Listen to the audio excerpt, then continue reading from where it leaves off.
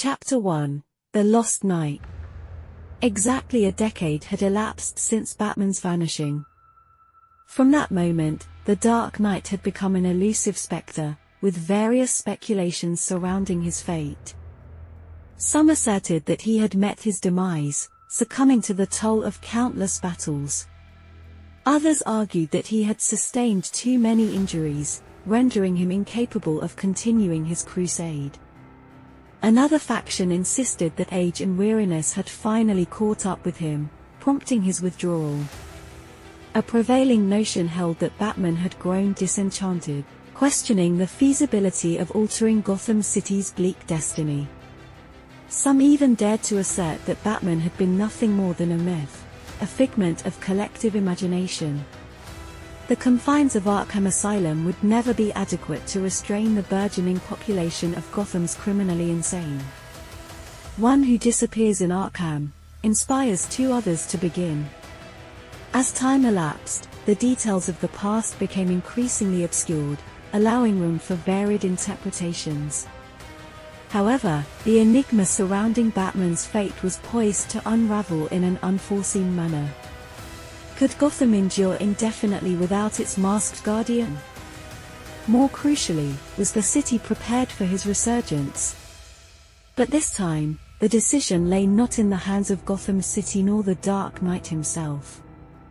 Another, equally dark figure, shrouded in darkness and madness akin to those incarcerated in Arkham, had assumed the mantle of decision-maker. The question of Bruce Wayne's role lingered, as Gotham braced itself for the impending revelation. When Alfred found no trace of Bruce within the vast expanse of Wayne Manor, despite the assurance that he hadn't ventured outside, which was an information that Bruce typically shared, Alfred instinctively headed to the one place where he consistently located him, the Batcave. Throughout the years, he had harbored the wish to permanently seal off this underground wing of the mansion. The Batcave, with its associations to Bruce's metamorphosis into Batman and the inherent perils, never sat well with Alfred. His preference leaned heavily towards the more illuminated sections of the mansion, the ones envisioned by Thomas Wayne, Bruce's father. Secretly, Alfred experienced a sense of relief when Bruce, a decade ago, declared a hiatus from his Batman persona. Deep down, Alfred believed this hiatus would be indefinite. He not only hoped for it but also endeavored to reassure Bruce that Gotham required the presence of Bruce Wayne more than that of Batman.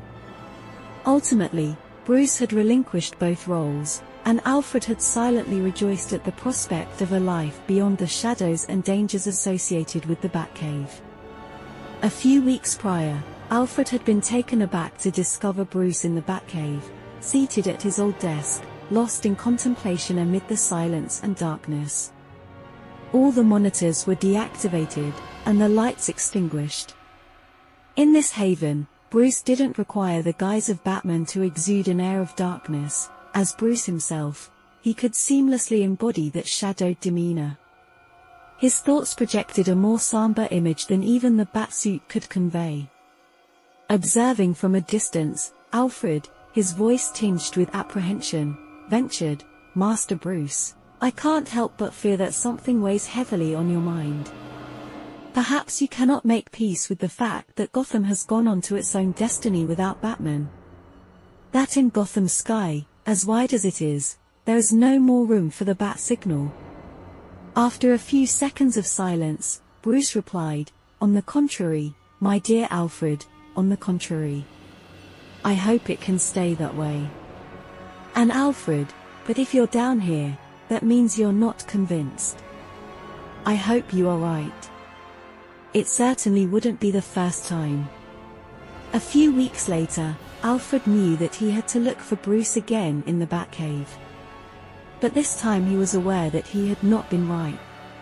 Bruce once again found himself before his desk, engrossed in his research. This time, the monitors were illuminated, and he was so absorbed in his investigations, that he remained oblivious to Alfred's presence. Alfred didn't even need to ask about the nature of his preoccupation. Silently, He placed the latest edition of the Gotham Gazette on the desk, beside the keyboard. The headline, both lucid and arresting, conveyed a sense of unease rarely experienced in years. Strange attacks shake Gotham City. I presume this is the source of your concern, Alfred remarked. A swift glance at the monitor confirmed Alfred's suspicion even before Bruce responded. The headline is not entirely accurate, Alfred. The attacks haven't occurred yet. It seems more like a threat. Or perhaps a prelude, a coincidence anticipating their actual execution, Alfred suggested. In the past few days, several bombs had been found near the city's focal points, schools, hospitals, offices, public facilities, even inside cars parked near busy intersections. Their destructive potential would have been such that, altogether, they could have caused thousands, if not tens of thousands of casualties, and unleashed unparalleled panic among Gotham's inhabitants. However, none of the devices detonated. Despite their meticulous construction, a crucial triggering mechanism was consistently absent, rendering them inert. In essence, these devices posed no actual danger. No resident of Gotham City was ever at risk. Yet, the individuals responsible for depositing these potentially lethal instruments demonstrated the capability and means to orchestrate a massacre, if they so desired.